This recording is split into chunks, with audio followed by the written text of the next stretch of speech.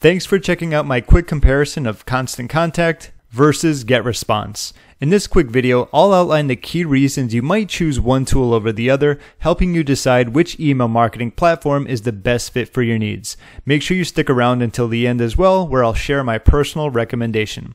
Let's start with GetResponse. In case you didn't know, they come with the ability to try them for free, and I will leave my link in the description in case you want easier access. Here are the biggest reasons why you'd want to use GetResponse. First and foremost is unlimited email sends.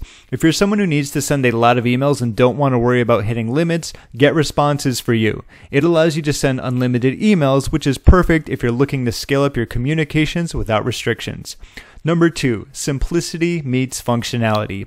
If you value an easy to use interface but still want powerful features, GetResponse could be your go to. It's designed to be straightforward while offering a range of tools beyond basic email marketing, such as automation, landing pages, and even webinars.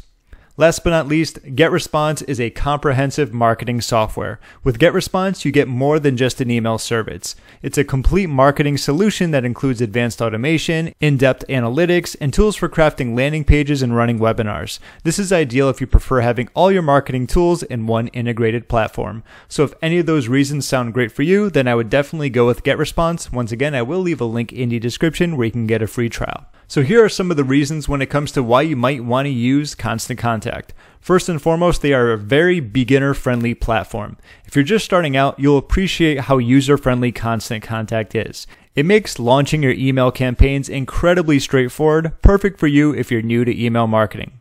Also, if you prefer to keep things simple and focus primarily on email marketing, Constant Contact provides all the essentials without overwhelming you with extra features you might never use. This can be a huge plus if you want efficiency without the complexity. Last but not least, if you're looking for solid support and resources, Constant Contact stands out for its excellent customer support and a vast library of helpful resources. This can be a game changer for you if you're looking for guidance and the best practices to enhance your email marketing efforts.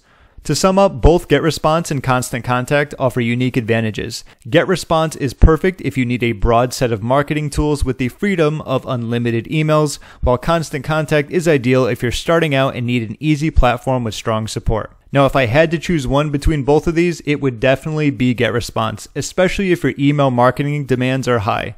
The ability to send unlimited emails without restrictions is a critical advantage that can help you expand your reach and grow your business more effectively. So that's going to be the winner if I had to choose one. And once again, you can test out GetResponse for free, or if you want to check out Constant Contact, I will also leave the link for them in the description where you can try them for free as well.